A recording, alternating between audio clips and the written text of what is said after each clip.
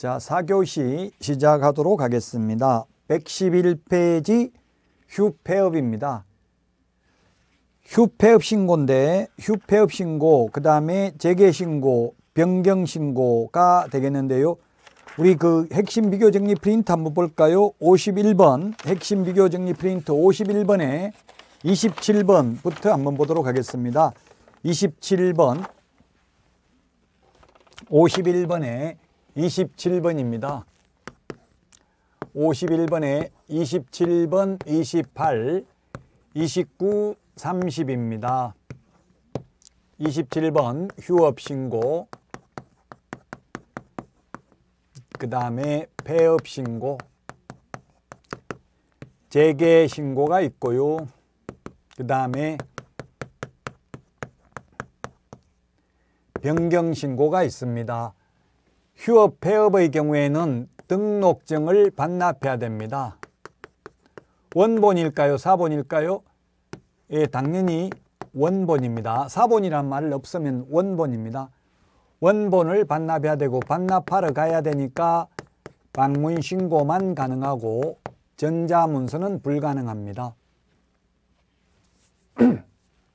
재개신고, 변경신고인데 재개신고, 변경신고는 이미 등록증이 반납되어 있기 때문에 미반납 또 반납할 수가 없습니다. 반납되어 있는 상태에서 재개신고하는 거죠.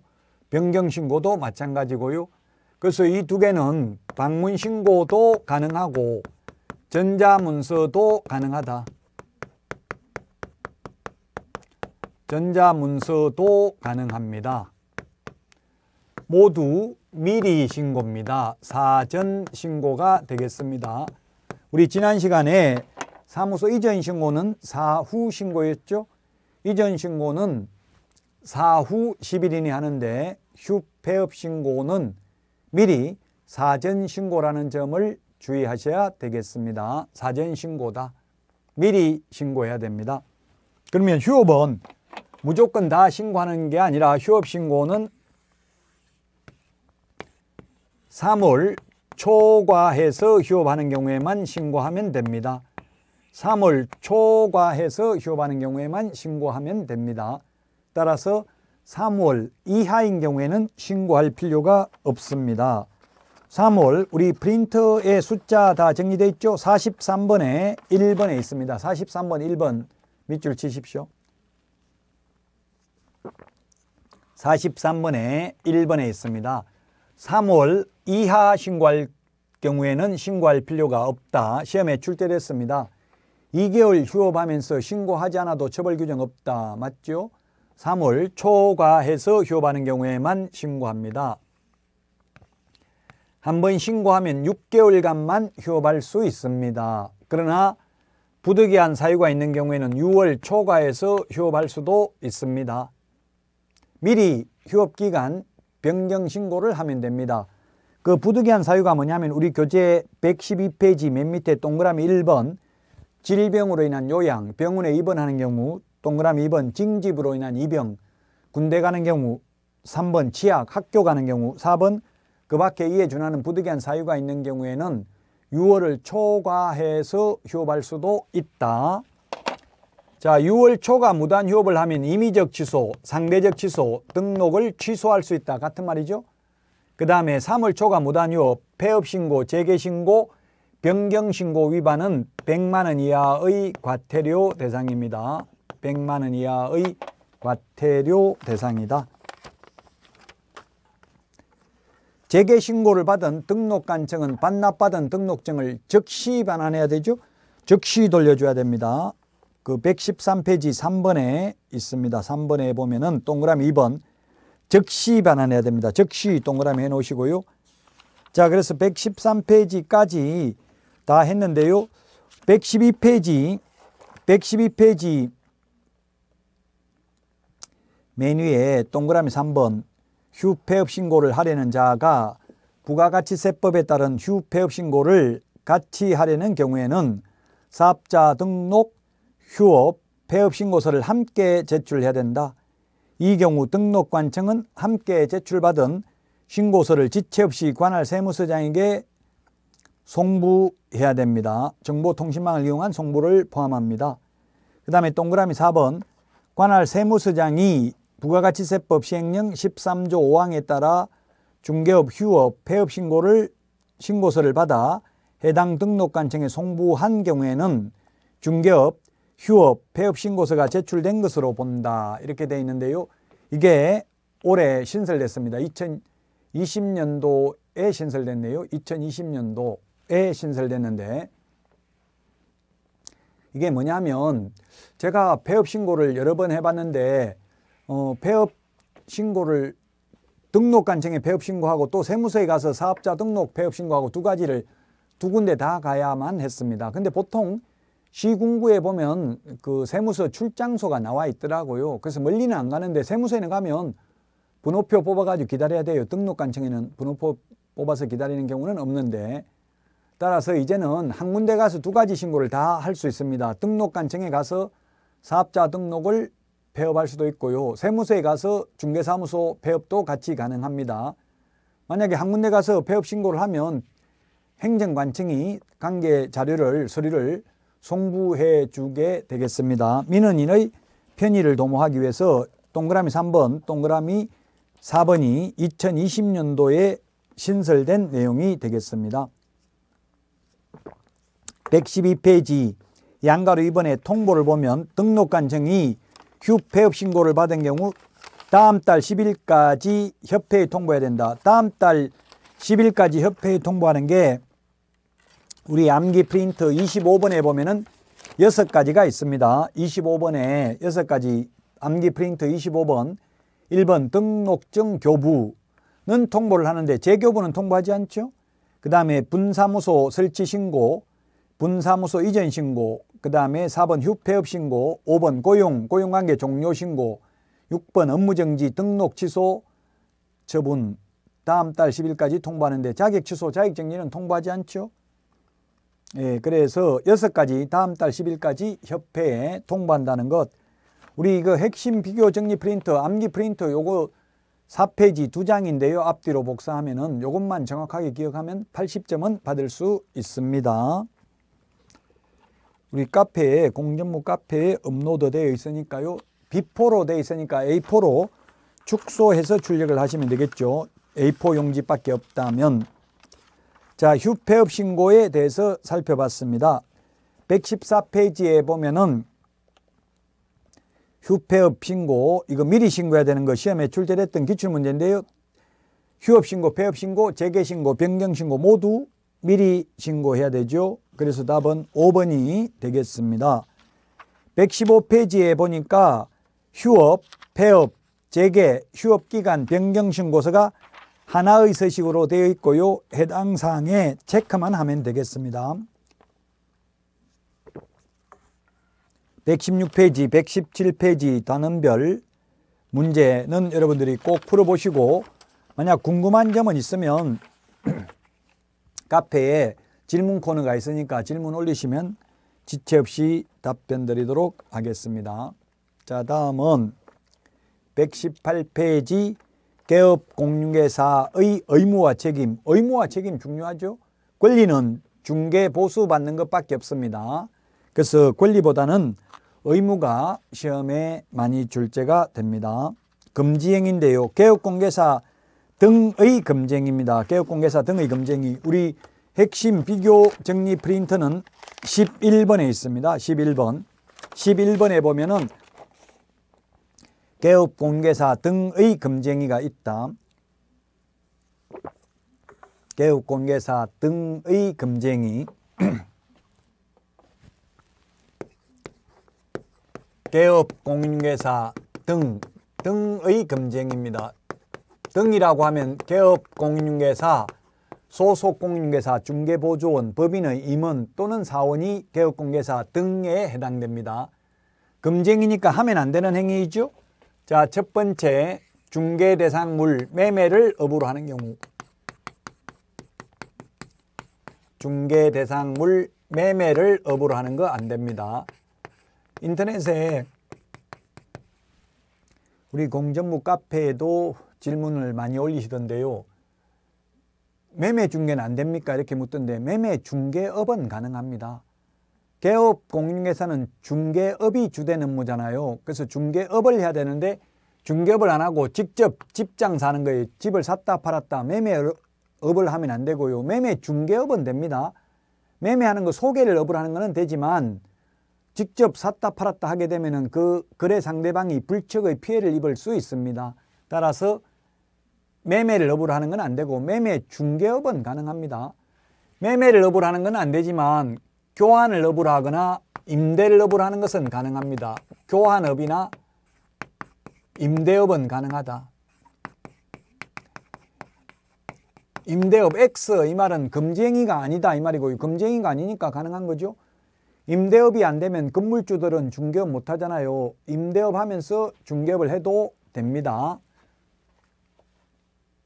자, 그 다음에 우리 암기 프린트는 11번을 참고로 보시면 되겠습니다. 교과서는 지금 119페이지를 했고요. 120페이지 이제 보시면 되겠죠. 두 번째는 무등록 업자 또는 무등록 중개업자와 협력하는 행위입니다. 무등록 중개업자임을 알면서 우리 교재 120페이지 알면서 밑줄 치시면 되겠죠. 모르고 하는 것은 금쟁이 아닙니다. 알면서 양가로 2번 알면서가 중요합니다. 알면서 양가로 2번 두 번째 줄 밑줄 치십시오. 알면서 그를 통해서 중개를 의뢰 받거나 무등록 중개업자에게 자신의 명의를 이용케 하는 행위 그 다음에 3번 중개 보수 또는 실비 초과 징수 실비 초과 징수는 어떠한 명목으로라도 아니 됩니다. 어떠한 경우에도 안 된다. 시험에 이게 뭐 가장 많이 나왔는데요. 실비도 받으면 안 된다 했는데 실비는 받아도 됩니다. 실비를 초과해서 받는 것은 안 되죠. 보수는 받으면 안 되지만 보, 초과해서 받으면 안 되지만 보수 외에 컨설팅 수수료 받아도 됩니다. 겸업하고 받는 수수료는 중개보수가 아니기 때문에 받아도 상관없습니다. 이 초과해서 받으면 초과 부분은 강행법규 위반으로 무효입니다. 만약에 법정 보수가 100만 원인데 1000만 원 받기로 했다면 초과 부분 900만 원은 무효이므로 부당이득으로 반환을 하여야 합니다. 전부 무효가 아니라 초과 부분만 무효가 되겠습니다. 어떠한 명목으로도 안 됩니다. 현금을 받았다가 돌려주는 것도 위반이다. 수표를 받았는데 부도나서 현금화하지 못해도 위반이다. 그러나 받기로 약속만 하고 실제 수령하지 않았다면 초과해서 받기로 약속해도 위반이 아니다. 왜? 미수범을 처벌한다는 규정은 없기 때문에 그렇습니다. 무등록 중개업자의 보수 청구권은 인정되지 않습니다. 그러나 무등록 업자가 아니라 우연한 기회에 한두 번 중개를 하고 보수를 받기로 했다면 사회 통념상 과다하지 않는 보수는 받아도 됩니다. 금품을 받으면 안 되기 때문에 물건으로 받는 것도 안 됩니다. 초과해서 받는다면. 그 다음에 거짓된 은행 4번 거짓된 은행 그 밖의 의뢰인의 판단을 그르치게 하는 행위 안 되는데 어떤 것이 거짓말인지는 사회 통념상 판단하면 되겠습니다. 122페이지에 있죠. 그 다음에 123페이지 어, 요네 가지는 1년 이하의 징역이나 천만 원 이하의 벌금 우리 암기할 때는 매, 무, 수, 거 이렇게 암기하도록 하겠습니다. 그 다음에 다섯 번째 분양 관련 분양 관련 증서 매매를 업으로 하거나 중개하는 거 안 됩니다. 청약 통장 분양 관련 증서는 주택법에 있습니다. 주택법에 주택상한사채 딱지, 물딱지, 조개딱지 이런 거 안 됩니다. 그러나 동호수가 특정된 아파트 분양권은 미래의 건축물입니다. 분양 관련 증서가 아니고요. 자, 그 다음에 124페이지입니다. 교과서 124페이지에 보면 6번 의뢰인과 직접 거래, 의뢰인과 의뢰인하고 직접 거래, 개업공개사 등이 직접 거래하거나 거래 당사자 쌍방을 대리하는 거 안 됩니다. 쌍방 대리. 일방 대리는 금지행위 아닙니다. 가능합니다.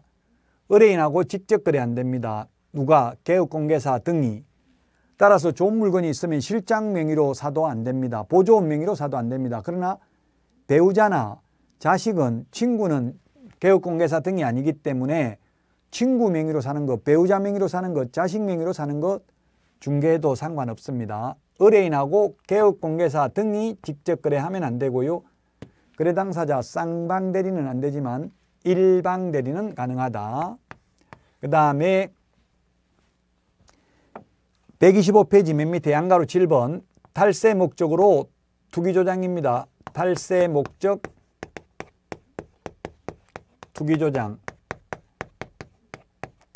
안 됩니다. 미등기 전매 등 투기를 조장하는 행위 하면 안 됩니다. 자 여기에 이제 2020년도에 신설된 게 126페이지 126페이지 양가로 6 8번 양가로 8번 신설됐습니다. 시세의 부당한 영향, 시세 부당한 영향. 양가로 8번에 보면 부당한 이익을 얻거나 제3자에게 부당한 이익을 얻게 할 목적으로 거짓으로 거래가 완료된 것처럼 꾸미는 등 중개대상물의 시세에 부당한 영향을 주거나 줄 우려가 있는 행위를 하게 되면은 3년 이하 이전액이나 3천만 원 이하의 벌금이죠. 자, 그 다음에 9번에 단체 구성원 단체 구성원 외의자 와 공동중개 제한입니다. 공동중개를 제한하는 것, 왕따 시키는 것, 회원업소, 비회원업소 나눠가지고 회원업소들끼리만 정보를 공유하는 경우 자, 그게 9번에 보면 이게 2020년도에 신설됐습니다. 단체를 구성하여 특정 중개사물에 대하여 중개를 제한하거나 단체 구성은 외의자와 공동중개를 제한하는 것, 왕따시키는 것, 예, 이게 개업공개사 등의 금지행위고요. 여기까지가 개업공개사 등의 금지행위가 되겠습니다.